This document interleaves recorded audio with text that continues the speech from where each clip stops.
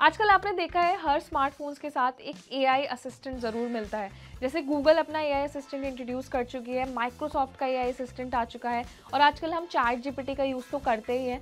लेकिन इस सीरीज़ में एप्पल थोड़ा सा पीछे रह गया है, लेकिन मैं आपको ये बता देती हूँ कि ये जो ब्रांड्स हैं, ये अभी अपना ए असिस्टेंट लेकर आए हैं। लेकिन एप्पल बहुत टाइम से अपना खुद का एक असिस्टेंट ऑफ़र करता है, जिसका इस्तेमाल हम सब करते हैं और वो है एप्पल की सीरी तो एप्पल सीरी का यूज़ सब करते हैं और आप जानते भी हैं कि इसे कितने टाइम पहले इंट्रोड्यूस किया गया था। सो सीरी एप्पल का डिजिटल असिस्टेंट है। हालाँकि ये एआई जितना एडवांस नहीं है लेकिन बेस्ट पार्ट ये है कि माना जा रहा है कुछ ही टाइम में एप्पल अपनी सीरी को और एडवांस कर सकती है और इसे एक AI टूल के तौर पर डिज़ाइन कर सकती है। सो so, वैसे सीरी को इंट्रोड्यूस किया गया था दो में। और जल्दी माना जा रहा है कि एप्पल गूगल माइक्रोसॉफ्ट जैसे ब्रांड्स के साथ कम्पीट करने के लिए सिरी में बहुत सारे एआई फीचर्स दे सकता है। सो so, सिरी को एक लार्ज लैंग्वेज मॉडल की तरह तैयार किया जाएगा और उसे डिजिटल असिस्टेंट की बजाय एक एआई असिस्टेंट बनाया जा सकता है। और माना जा रहा है कि इसके लिए एप्पल चैट जीपीटी के जो कंपनी है फाउंडर कंपनी है ओपन एआई उसके साथ टाई अप कर सकते हैं यानी कि उसके साथ मिलकर अपना एक नया एआई असिस्टेंट टूल ला सकती है। सो so, जो नई सीरी है जो एडवांस वर्जन के साथ आएगी वो माना जा रहा है कि आई ओ 18 के साथ लॉन्च किया जा सकता है और इसका इंट्रोडक्शन किया जाएगा W W D C two thousand twenty four में। तो अब आपको ज़्यादा वेट नहीं करना है। डब्ल्यू डब्ल्यू डी सी बस कुछ ही टाइम में होने वाला है और माना जा रहा है कि इस सबसे बड़े इवेंट में एप्पल के अपनी नई सीरी जो कि ए आई असिस्टेंट के साथ आएगी उसे एप्पल इंट्रोड्यूस कर सकती है। सो so, सीरी जो है वो चैट जीपीटी की तरह काम कर सकती है। आपकी जो क्वेरीज है उनका रियल टाइम जो क्वेरीज हैं उनको सॉल्व कर सकती है। जैसे आप उससे बात कर सकते हैं वैसे तो हम सीरीज़ से काफ़ी चीज़ों में बात कर पाते हैं लेकिन एआई बहुत ज़्यादा एडवांस है। एआई आपके हर क्वेश्चन का आंसर करता है। सो so, सीरी को एआई तक के लेवल पर ले जाने के लिए इसमें बहुत सारे फ़ंक्शंस ऐड किए जाएँगे। इसको और बेटर तरीके से डिज़ाइन किया जाएगा।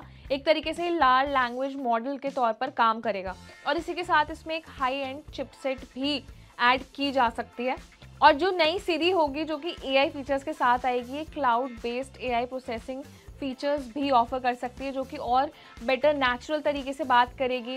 ये ऐसे बात करेगी जैसे आप नॉर्मल किसी भी एआई असिस्टेंट से बात करते हैं, जिसमें आपको एक ह्यूमन एक्सपीरियंस भी मिलता है। बहुत ज़्यादा ऐसा नहीं लगता है कि आप किसी रोबोट से बात कर रहे हैं। सो so, जो नई एडवांस सीरी आएगी उसमें आपको एक ऑटो समराइज नोटिफिकेशन फीचर मिल सकता है जिसमें आपको बेटर तरीके से समराइज किए हुए नोटिफिकेशन हैं वो विजिबल होंगे।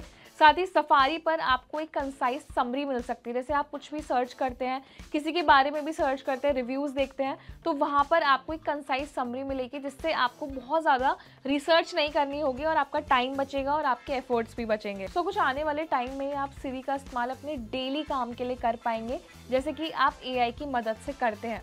तो सभी आईफोन यूज़र्स के लिए बेटर इसलिए भी होगा क्योंकि मोस्टली लोग आईफोन का इस्तेमाल करने लगे हैं और सिरी वैसे ही एक डिजिटल असिस्टेंट है। तो अगर उसी को एआई में कन्वर्ट किया जाए तो वो एक बेटर एक्सपीरियंस हो जाएगा। और जैसे कि मैंने बताया कंपनी ओपन ए के साथ भी टाई अप कर सकती है। सो so, ये भी माना जा रहा है कि चैट जीपीटी को भी इंटीग्रेट किया जा सकता है सीरी सर्विस में। कुछ रिपोर्ट्स में ये भी माना गया है कि चैट जीपीटी को भी आईफोन में सीरी की तरह इंटीग्रेट किया जा सकता है। हालाँकि ये भी माना जा रहा है कि एप्पल अपना खुद का एक नया एआई असिस्टेंट भी लॉन्च कर सकती है। लेकिन उस एआई असिस्टेंट का नाम क्या होगा? इसको लेकर अभी कोई ऑफिशियल जानकारी सामने नहीं आई है। सो so, 16 सीरीज़ के साथ साथ आपको आईफोन 15, 14, 13, 12 सीरीज़ तक में आई 18 का सपोर्ट मिलेगा और इन सभी फ़ोन्स में आप एआई फीचर्स का इस्तेमाल कर पाएँगे। तो अब देखना ये है कि जो एडवांस और ए बेस्ड सीरी आने वाली है उससे और क्या काम किए जा सकते हैं? उसका एक्सपीरियंस क्या होगा वो देखना है। तो so, आपको क्या लगता है कि एप्पल को अपना खुद का एआई असिस्टेंट लाना चाहिए या फिर सीरी को ही एक बेटर एआई के साथ इंट्रोड्यूस करना चाहिए या फिर चैट जीपीटी को आईफोन में इंटीग्रेट करना चाहिए? तो इन तीनों में से कौन सा ऑप्शन आपको बेस्ट लगता है? अपना एक फीडबैक हमें कमेंट सेक्शन में ज़रूर दें। साथ ही वीडियो अच्छा लगा है तो इसे लाइक भी करें शेयर भी करें और इस तरह के इंटरेस्टिंग वीडियोज़ के लिए हमारे चैनल को सब्सक्राइब भी करें।